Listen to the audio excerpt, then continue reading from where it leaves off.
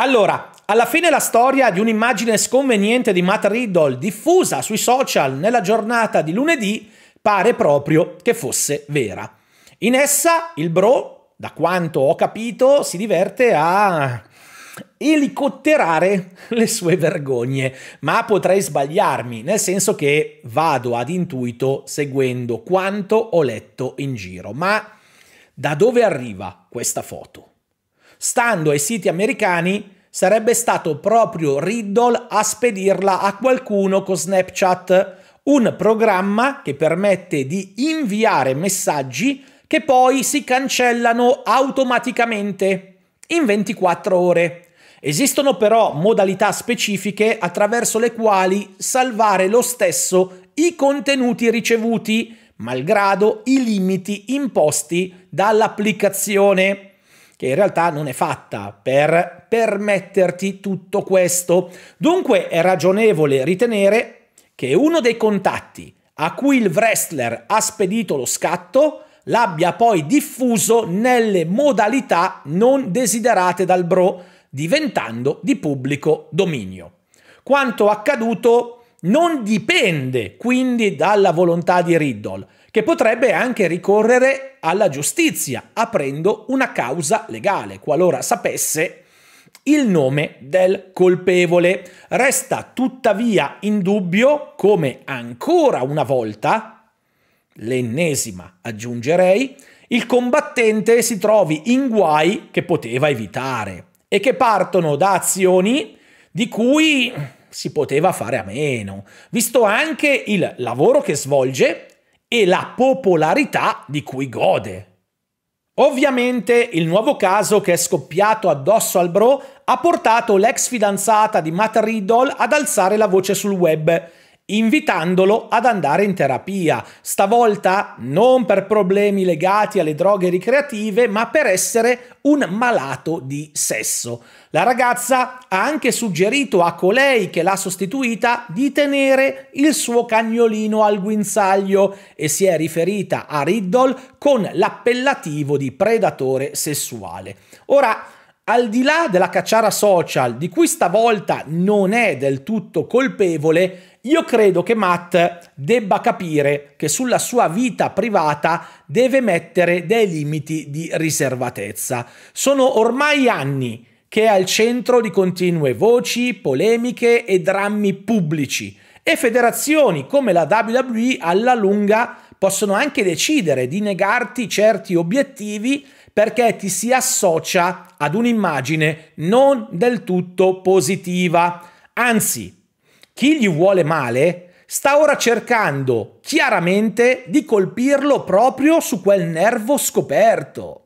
Per questo il wrestler dovrebbe evitare ogni abitudine potenzialmente dannosa, soprattutto quelle che per un motivo o per l'altro potrebbero sfuggire al suo controllo, come accaduto appunto un paio di giorni fa.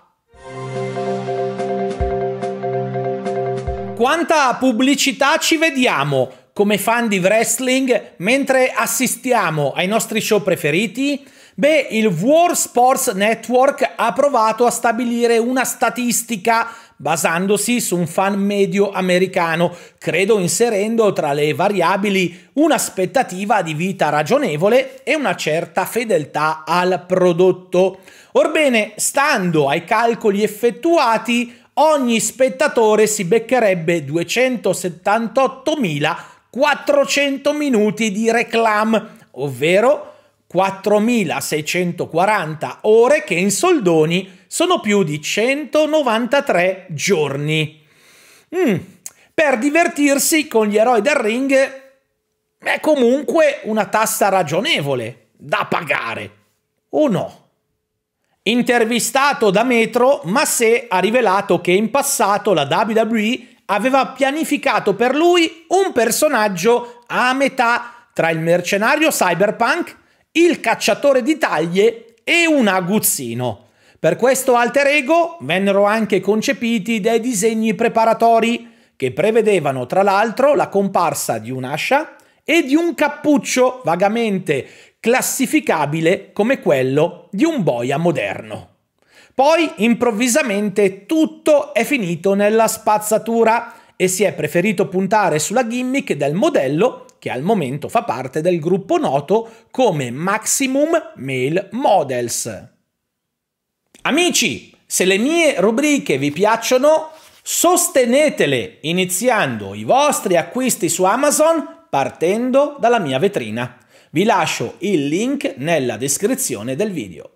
Basta che iniziate le vostre ricerche da questa pagina e mettiate i prodotti nel carrello partendo da qui. A voi non cambia nulla, non pagate niente di più e a me arriva una piccola commissione in base a quanto comprate. Non siate pigri, ricordatevi di farlo. In un recente episodio del suo podcast, Road Dog Jesse James ha rivelato che la pressoché totalità dei dirigenti WWE di allora spinse per un passaggio tra i cattivi di Roman Reigns subito dopo l'edizione 2018 di Backlash, evento nel quale il wrestler samoano sconfisse Samoa Joe davanti ad un pubblico ostile e annoiato. Vince McMahon si oppose però all'idea convincendosi al grande passo soltanto nell'agosto del 2020. Continuano ad aumentare gli show in cui è momentaneamente annunciata la presenza di Roman Reigns. Ora alla lista si è unito anche lo SmackDown del 7 luglio che si terrà al Madison Square Garden di New York. In una recente intervista, The Rock ha rivelato come il wrestling l'abbia riavvicinato alla figlia Simone, attualmente in forza a NXT con il nome d'arte di Eva Rain. L'ex lottatore ha ammesso che per inseguire la carriera aveva finito col trascurarla, ma il desiderio della ragazza di ripercorrere le sue orme nel ring ha ricostruito i ponti caduti per via della lontananza ed ora il loro rapporto è più saldo che mai. In una storia su Instagram Gigi Dolin ha scritto mi manca essere PK. PK sono le iniziali del suo vero nome, ovvero Priscilla Kelly. Per questo in molti stanno interpretando il messaggio come un sintomo di malcontento che potrebbe fotografare la sua delusione attuale. Dopo la fine delle Toxic Attraction, infatti, Gigi è rimasta lontana dai main event e adesso le è stata cucita addosso la storia di una ragazza a caccia di riscatto dopo un'adolescenza bruciata al fianco di una famiglia tossica e per niente amorevole.